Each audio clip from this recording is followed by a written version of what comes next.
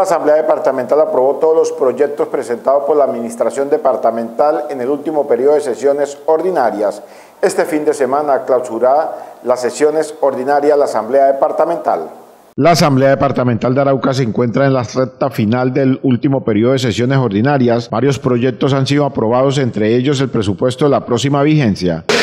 Sí, efectivamente, eh, ya en la recta final de lo que es el tercer periodo de sesiones ordinario de esta Asamblea, eh, hemos aprobado en tercer debate los últimos proyectos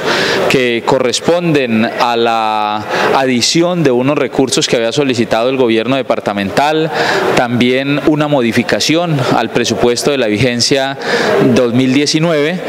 eh, desde el entendido que unos recursos que se adicionan son recursos que vienen, por ejemplo, unos recursos del FOMPED, de unos excedentes de FOMPED, de unos rendimientos financieros y que requieren de ser adicionados para poder ser invertidos o apropiados en algunos de los proyectos que están en, en ejecución principalmente. Y lo mismo ha sucedido con los proyectos de contracrédito que se han solicitado unos traslados presupuestales, dado a que ya no se permite por tiempo eh, iniciar procesos nuevos, iniciar toda la fase contractual porque no lo permitiría. Entonces eso requiere que algunos proyectos que están en ejecución y que por alguna razón requieren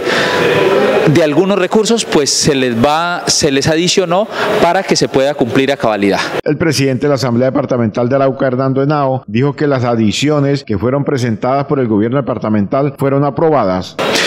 Las, las adiciones ya se convirtieron en ordenanza de esos proyectos acá en la Asamblea Departamental. Tienen que surtir el trámite de sanción y publicación por parte del gobierno departamental y ahí inicia todo el trámite que tienen que surtir en cada una de las unidades ejecutoras de la, de la gobernación de Arauca para que posteriormente ahí sí ya pueda ser adicionado a cada uno de esos proyectos que ha planteado el, gobierno departamental, pero yo sí quiero pues acá dejar claro es que estos procesos que se han hecho de traslado, de adiciones a proyectos que están en ejecución son bajo el cumplimiento y bajo la legalidad, porque a rato se generan muchos eh, comentarios que es que no se puede, no, acá estamos actuando bajo el componente legal y son permitidos las adiciones, los traslados, hacer todas estas figuras hasta el 31 de diciembre que corresponde este año, este, la vigencia para la cual se, se están solicitando las modificaciones. Según ENAO, el proyecto de alimentación escolar fueron aprobados como vigencias futuras excepcionales. Bueno,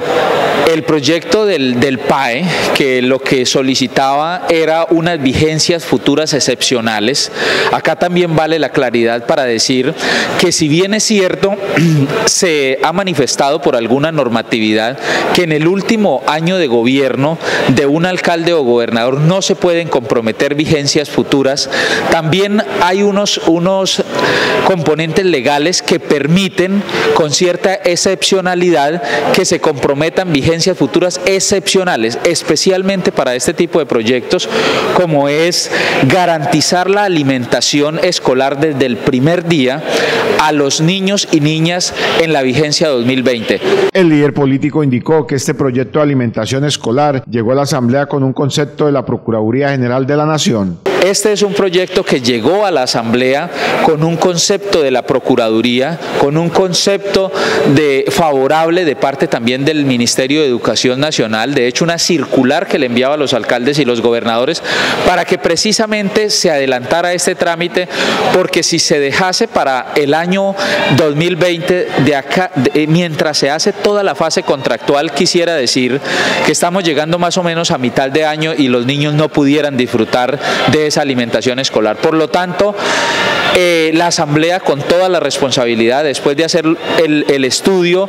tanto en plenaria como en comisión, pues decidió darle, por supuesto, el voto favorable a este proyecto que ya salió hace unos días de acá de la Asamblea Departamental y, como le digo, pues está surtiendo todos los procesos en las unidades ejecutoras. Este fin de semana será clausurado el último periodo de sesiones ordinarias de la Asamblea Departamental.